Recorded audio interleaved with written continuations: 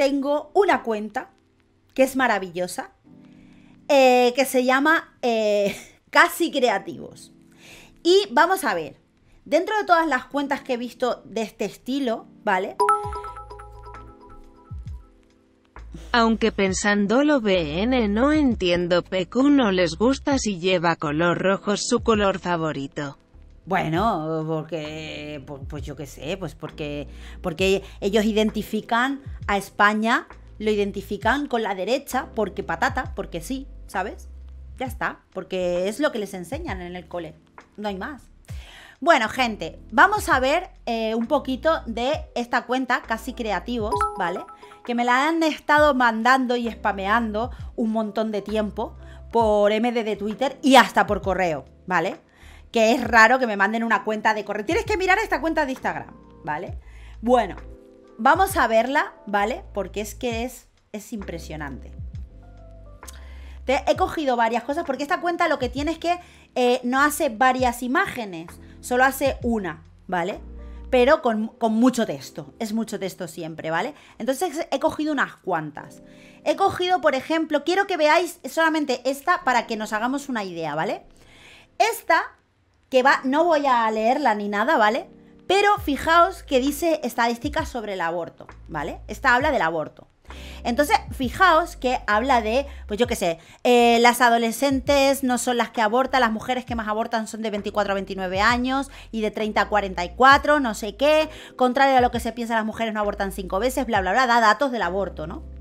Pero fijaos que ponen a una mujer embarazada sonriéndose sonriendo con carita kawaii, sonriendo, en plan, al niño que lleva dentro. Ay, Dios mío, te voy a abortar ahora mismo. Ha sido bonito mientras ha durado, pero me voy a despedir de ti. Tiene una cara de asesina, psicópata, ¿vale? Porque esta cara así kawaii, esta cara kawaii es como la cara del, del, caracol de Hora de Aventuras cuando está poseído por el, el, Lich. ¿El Lynch? ¿Cómo se llamaba? El, el Lich.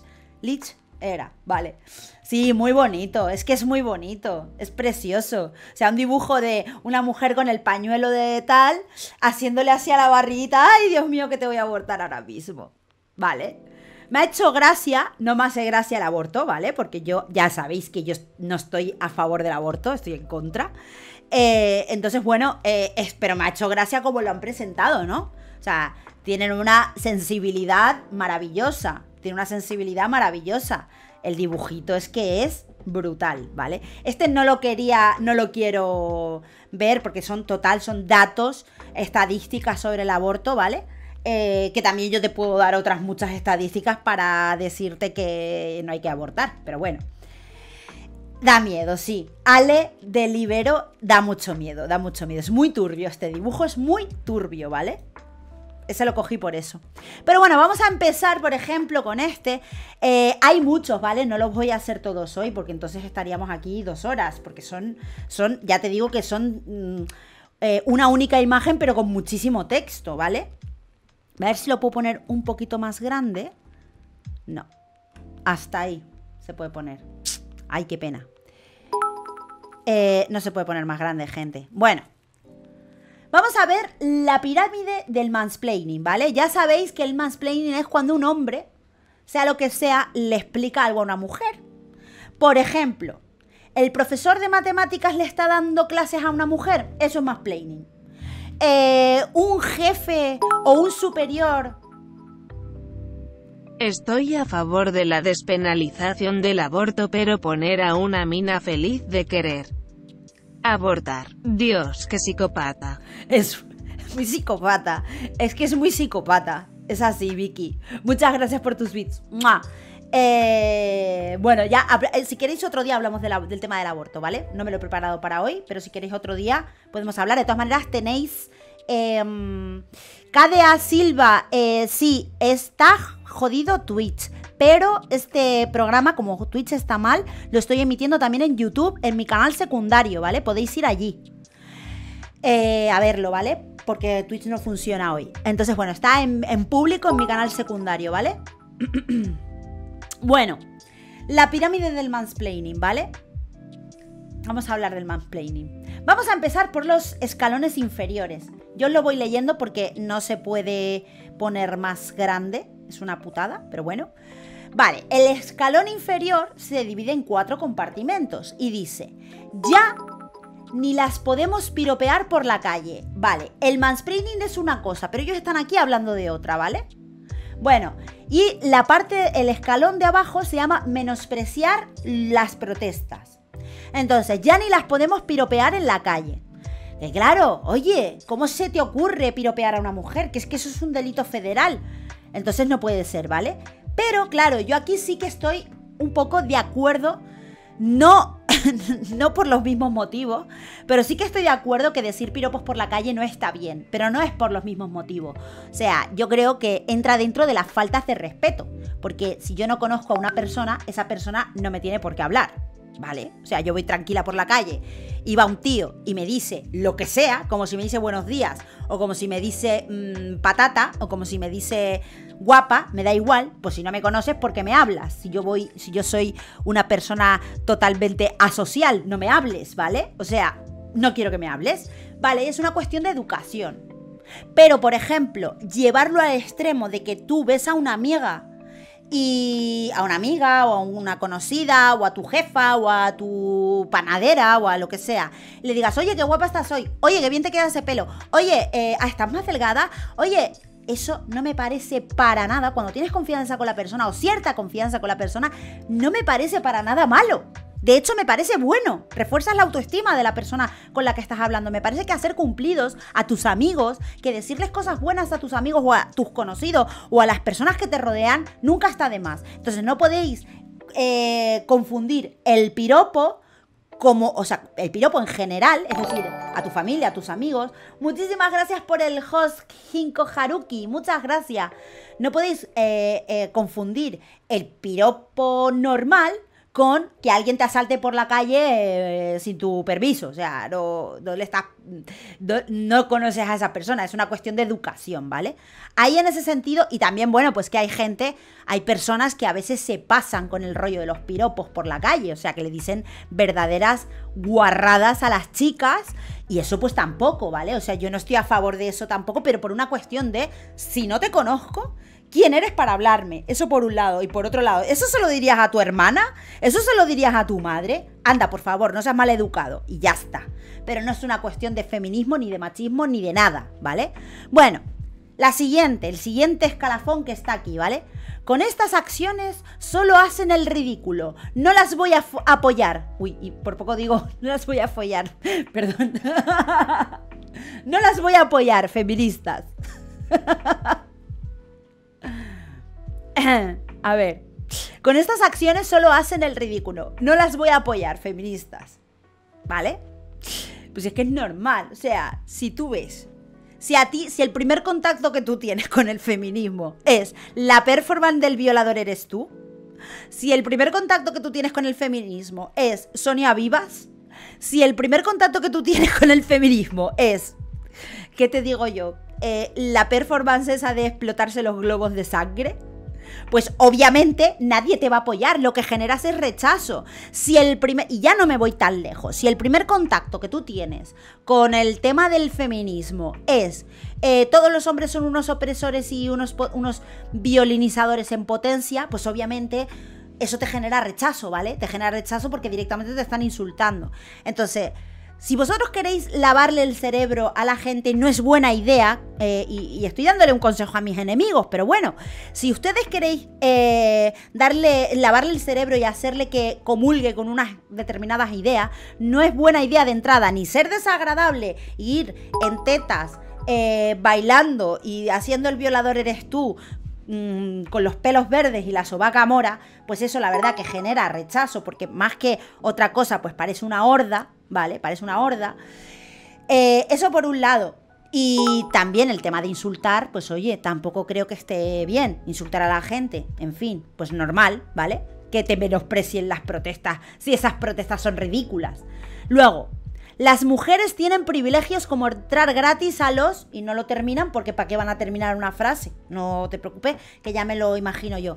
Dice por aquí que las mujeres tienen privilegios como entrar gratis a los supongo que será a las discotecas, a los bares, a los sitios de por la noche, ¿no? Vale. Privilegios como entrar gratis. Sí, podríamos estar hablando de que eso es un privilegio, en el fondo no es un privilegio por todas las cosas que son gratis, o bien utilizan tus datos, o bien te utilizan a ti como reclamo, o sea que gratis tampoco es, ¿no? Tú estás aceptando entrar gratis a cambio de que a los hombres les cobren con la certeza de que va a haber más mujeres que hombres. Tú, como persona, estás aceptando eso, tú sabrás lo que haces, ¿vale? Eso por un lado. Pero por otro lado, las mujeres sí que tienen privilegios reales en comparación a los hombres. En España, de hecho, más de 300 leyes a su favor. Las condenas en casi todos los países, por ejemplo, en Rusia, si eres un asesino, te condenan a X años, ¿vale? Bueno, si eres una asesina, te condenan a la mitad que a un hombre, por ley, por ley, ¿eh? Por ley. Esto está escrito en una, en una ley, ¿vale? Eso en Rusia.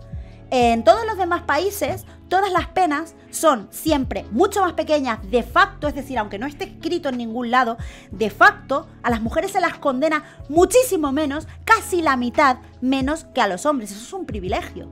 Eso es un privilegio. Una mujer puede ser criminal tranquilamente porque va a cumplir la mitad de la condena que un hombre. Así es más rentable para una mujer ser una criminal que un hombre, por ejemplo. Eso es otro privilegio. Otro privilegio es usar la ley a tu favor. Es decir, eh, puedes coger y decir, bueno, aunque el juez haya dictaminado una eh, custodia compartida, me llevo a los niños porque total no pasa nada. Pasa como el caso de Juana Rivas, que lo vimos aquí el otro día, ¿vale? Pasa con el caso de Juana Rivas y el caso de Juana Rivas, ella va a entrar en la cárcel solo dos años después de haber secuestrado a sus hijos. Ahora, cuando encuentren al de Tenerife que tiene a los niños secuestrados, al señor de los niños que se ha llevado a los niños, que está ahora mismo el caso eh, candente, cuando le encuentren eh, a ese señor, eh, ¿cuánto, le van a, ¿cuánto le van a meter? Lo mismo, dos años, ni de coña. Y ojo, ojo, por mí que un secuestrador o secuestradora estuviera en la cárcel el tiempo que fuera, vamos, necesario y todo lo que fuera posible, ¿vale? O sea, lo que me parece mal es que Juan Arribas esté dos años. Eso me parece mal. Ahora, el tío este, cuando lo cojan, ya veréis cómo no le ponen dos años. A este tío le van a poner 10 eh, o 12 años. Y depende, depende. Vamos a ver qué es lo que ha hecho con los niños, porque telita el caso, ¿eh? Bueno, otra. El lenguaje inclusivo es una estupidez, sillo y silla. Pues sí, es una estupidez el lenguaje inclusivo. Doblar los géneros es eh, ir en contra de la economía del lenguaje no creo que menospreciar estas protestas sea tan grave. O sea, la primera, el primer escalón de la pirámide no lo hemos comido rápido, ¿vale? O sea, ha sido una tontería como un día de fiesta. El lenguaje inclusivo es una estupidez y solo habla del que lo dice. O sea, el que lo practica es el único mm, eh, que se beneficia de ese lenguaje. Es decir, como yo uso ese lenguaje, soy mejor que tú y soy moralmente superior a ti, ¿vale? Básicamente es eso. Bueno, Ahora vamos a ver el siguiente escalón. El siguiente escalón se llama victimizar al opresor. ¿Vistes el vídeo de David Santos? Es increíble lo que está pasando este señor. No sé qué vídeo es, es el de Rubén Gisbert. No lo sé si es ese vídeo, ¿vale? Si es ese vídeo, sí lo he visto. Sí, es increíble, es increíble, es increíble, de verdad. En fin, eh, vale, victimizar al opresor. Muchas gracias, Andrés, eh, por tu. por tu. por tus bits. Eh, sí, Vive la France de MMK22. ¿Por qué Vive la France? Porque en Francia se ha prohibido el lenguaje inclusivo. Bueno, vamos con el siguiente escalón, ¿vale? El siguiente escalón se llama victimizar al opresor. ¿Por qué no hablan de las denuncias falsas? Espera, victimizar al opresor, ¿por qué no hablan de las denuncias falsas? Victimizar al opresor, ¿por qué no hablan de las denuncias falsas? Es decir, ellos piensan que sistemáticamente todos los hombres siempre en un divorcio o en lo que sea, siempre tienen la culpa. Lo está diciendo aquí, porque consideran opresor al hombre porque sí, porque patata, ¿vale? Y dice, uy, ¿por qué no habláis de las denuncias falsas? Como si preguntar, cuestionar todo ese grueso de denuncias que no se investigan, nadie dice que sean falsas, ¿vale? el grueso de denuncias que no es que no se investiguen, perdón, que se archivan de entrada, es decir, que el juez hace así y dice, esto no lo voy a investigar porque esto es una esto es una patraña, ¿vale? No lo voy ni a investigar. O sea, esas denuncias el 99% de esas denuncias que se archivan, que se archivan, la inmensa mayoría de las denuncias por violencia de género se archivan, eh, el juez no ve indicios. De entrada a esas denuncias se podría decir de alguna forma que esas denuncias al menos no son verdaderas. Es el vídeo que la madre se ha llevado al hijo y aunque el juez le da la custodia al padre. Ah, sí. No le devuelven al hijo. Que sí, que sí, que sí, que eso pasa así. La madre se lleva exactamente. Eso es uno de los privilegios femeninos. La madre se lleva al niño, eh, el, hombre tiene la custodia por parte de un juez y da igual, no pasa absolutamente nada. mira, yo tenía un cliente eh, cuando estaba en la, cuando tenía mi imprenta tenía un cliente que el hombre era súper bueno con sus hijos, estaba siempre haciendo cosas para sus hijos, ¿vale? O sea, siempre imprimiendo fotos para sus hijos, eh, yo qué sé, hacía un montón de cosas por sus hijos hasta el punto de que me encargó que hiciera que diseñáramos un videojuego para sus hijos, o sea, una pasada el tío, ¿vale? De hecho se lo hicimos, le hicimos un videojuego. Bueno, el caso es que este señor tenía custodia compartida no tenía custodia compartida. Algo había hecho la tía, ¿vale? Que era eh, de punto de encuentro. O sea, él solo podía ver a su, tenía la custodia a ella y él solo podía ver a sus hijos en un punto de encuentro, pues una vez a la semana, creo que era. O sea, creo que él podía estar en el punto de encuentro era en el punto de encuentro, tenía que recogerlos y se los llevaba, ¿vale? del punto de encuentro. Pero bueno, o sea, era en un punto de encuentro, se los daba un asistente social y entonces el asistente social se iba y él se quedaba con los niños pues todo el fin de semana o lo que fuera. No sé si era una vez cada dos semanas o algo así. No, no me acuerdo. No me acuerdo cómo era el régimen eh, concretamente en ese caso, ¿vale? El caso es que eh, mm, la mitad o más de la mitad de las veces la mujer no cumplía y no pasaba nada. Él lo decía, llamaba al juez, llamaba al juzgado para ponerle una denuncia cada vez que la tía incumplía. No pasaba absolutamente nada. ¿Con qué hiciste el videojuego? Eh, ese videojuego lo hicimos en Unity. Era un videojuego.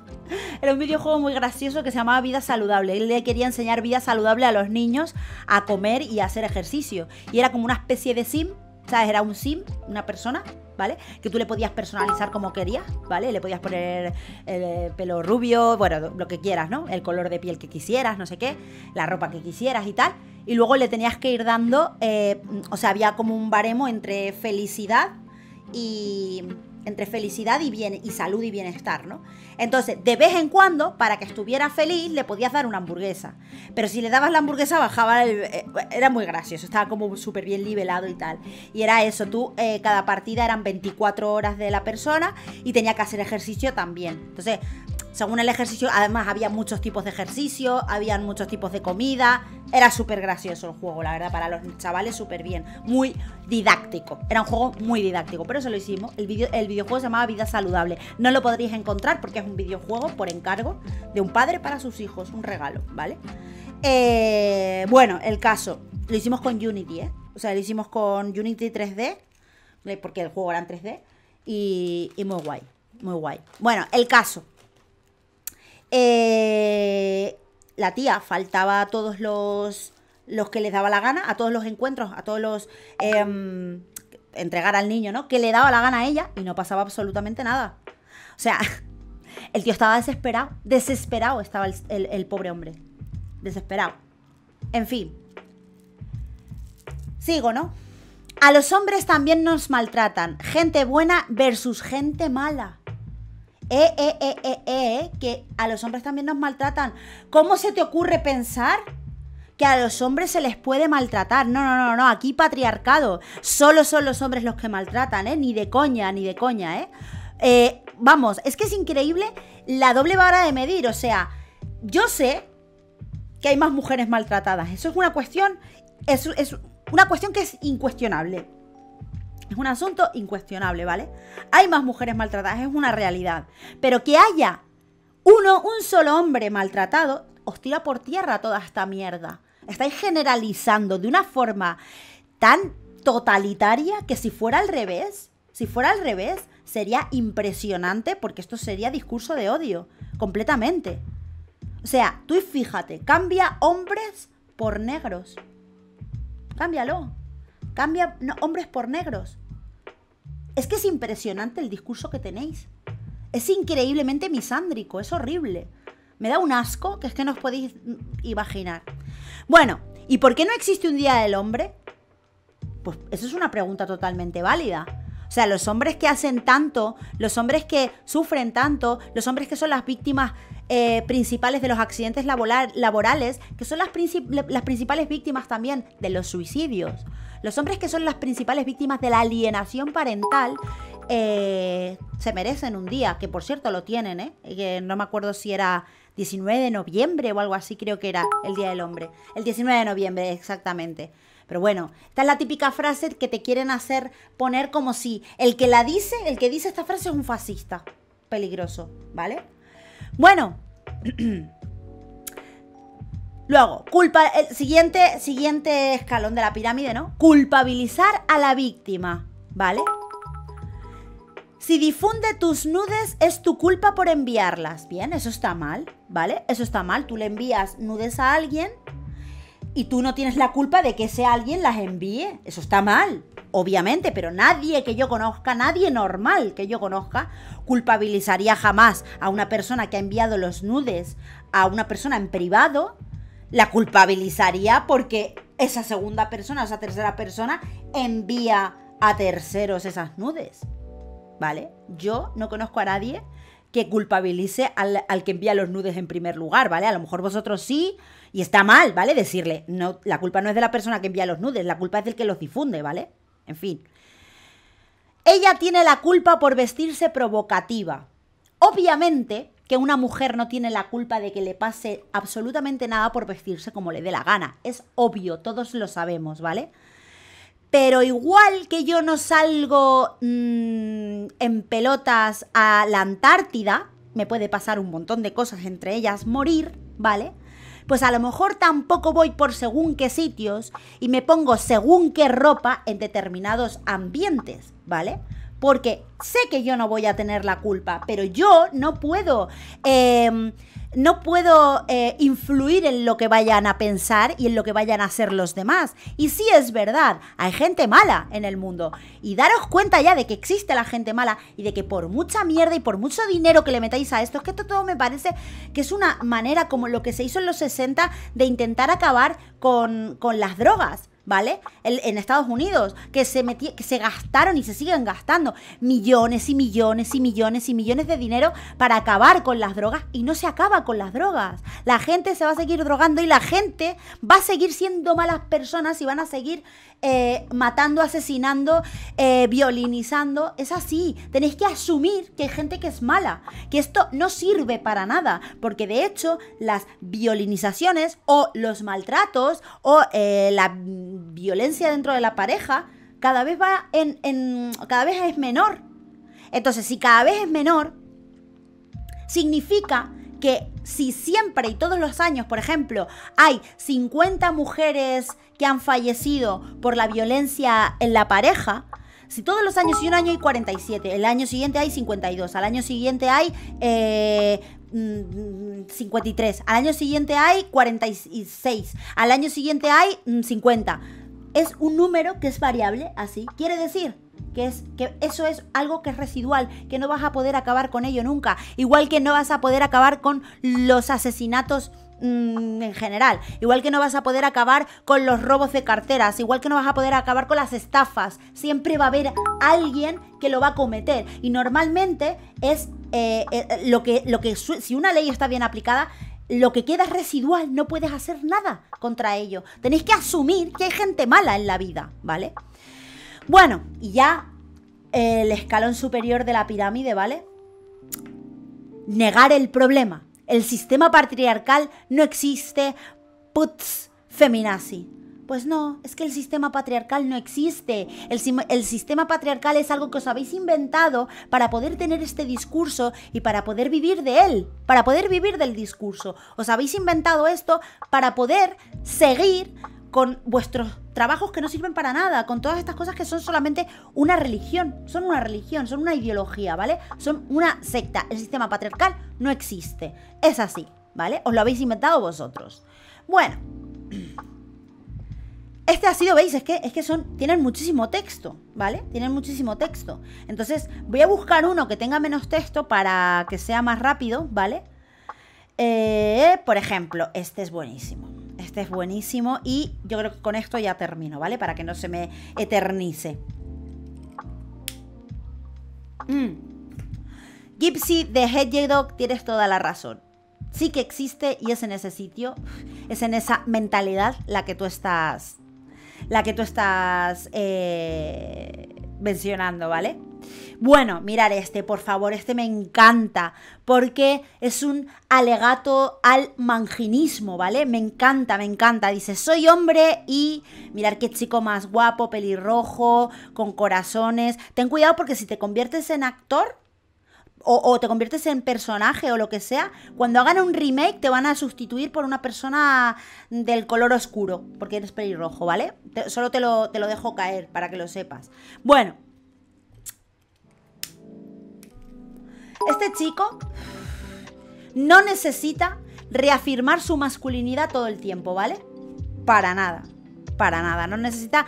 Sin embargo, lo que sí que necesita todo el tiempo es decirte lo deconstruide y lo aliade que es. Eso sí, ¿vale? La masculinidad, porque todo el mundo sabe que la masculinidad es algo malísimo, es algo que es el demonio, la masculinidad, ser masculino es algo que deberíamos todos de olvidar. Estoy siendo sarcástica porque luego ya sabéis que me cogen cortes y me hacen vídeos. Hola Vicky, hace 10 años que Rita M junto con otras hicieron una performance en la capilla del campus de Somos Aguas. Al parecer en esa época los profesores iban al baño a refrescarse y las alumnas se refrescaban en la capilla. ¿Os acordáis, Mendiola? Muchísimas gracias por tus beats. ¿Os acordáis de qué fuerte fue aquello, que la gente estaba en misa. O sea, no es que fueran un día a la capilla, a la iglesia, no es que había gente en misa, tío. Ya no es por porque tú hagas tu performance y tu mierda, ¿vale? Pero es que había gente mayor, personas mayores, ancianitos, en misa, tío. Que es como, eh, perdona, ¿me puedes respetar, por favor? O sea, que falta de respeto con la gente mayor es esa, es que es increíble. Y montaron aquella performance con las tetas en la, en la capilla. Y bueno, pues nada, esa tía pues está ahora viviendo del cuento, como todo el mundo, como todas las feministas. Es así. Muchas gracias, Mendiola. Luego dice, no me gustan los deportes y entiendo que no tiene nada de malo. ¿Sabéis a quién no le gustan los deportes? A Miguel, por ejemplo, ¿vale? No le gustan los deportes, le gusta ver de vez en cuando el fútbol. Ya está. O sea, ¿tiene algo que ver que no te gusten los deportes con ser masculino? No, pero bueno, lo tiene que decir, ¿vale? Luego, mirar esto porque es que es grandísimo. Me pinto las uñas porque me veo cool y sé que no me afecta en nada.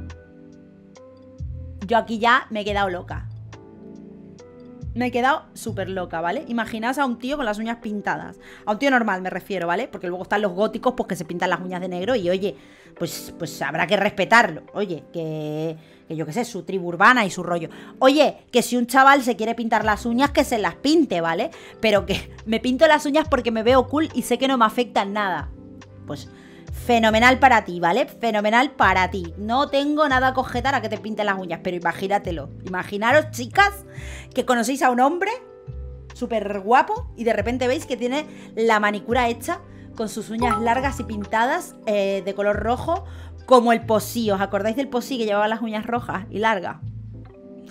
En fin, algo a lo mejor a ti no, pero a lo mejor a las chicas potenciales con las que vayas a ligar, pues a lo mejor sí que les molesta un poco. Pero bueno, oye, tú sabrás.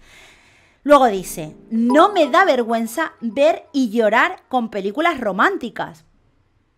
Yo he conocido personas, he conocido chicos que lloran a moco tendido, chicos súper masculinos que lloran a moco tendido con las películas, ¿vale? O sea, no tiene que ver una cosa con la otra. Y yo no creo que por un tío que llore con una película romántica sea más. sea gay o lo que sea, ¿vale? O sea, no. ¿Vale? Sé que no es lo normal, sé que llorar, que un tío que llore con películas románticas no es lo normal, pero si lo hace, ninguna chica vamos a pensar nada malo de él, ¿vale? Porque llorar es un sentimiento humano que los hombres tienen. Y todo el mundo sabe que los hombres pueden llorar. Eso ya estaba superado de antes, ¿vale? Este discursito lo habéis traído de los años 80, de los años 70, en donde estaba mal visto que los hombres lloraran en público y de años anteriores. Pero en los 90 ya lo superamos todo esto, ¿vale? Que los hombres lloraran, o sea, Backstreet Boys. O sea, por favor, eh, ¿cuántos eh, hombres no hemos visto llorando eh, en películas? Brad Pitt, Leonardo DiCaprio en, en Romeo y Julieta, llorando a moco tendido. No pasa absolutamente nada. Lo teníamos superado, ¿vale? No traigáis este cliché ahora que no tiene mm, absolutamente nada, o sea, no, tiene nada en la actualidad, no tiene ningún reflejo en la, en la actualidad. En fin. Luego dice, lloro y expreso mis emociones porque entiendo que no son menos válidas por ser hombre. Claro que sí, puedes hacerlo perfectamente, ¿vale? Puedes hacerlo. Eh, puedes hacerlo, nadie te va a juzgar, ¿vale? Luego dice, me hago manicure, pedicure. Yo ahora me entero, ¿vale? Me estoy enterando ahora, gente, que manicure y pedicure hay que decirlo en lenguaje inclusivo, ¿vale? Me acabo de enterar. Yo no lo sabía, pero bueno, me voy a ir a hacer la manicure y la pedicure. Y sé que eso no me hace menos hombre. Mira, ¿sabes quién se hace la manicura y la pedicura? Mi padre, de toda la vida. Mi padre de toda la vida llama a una podóloga que le hace la pedicura y le cura todos los callitos de los pies de toda la vida. Y también de paso le arregla las uñas de las manos, ¿vale? Ya está, ¿pasa algo? No. Y mi padre, ¿sabes qué es? Votante del PP, fíjate tú qué cosas.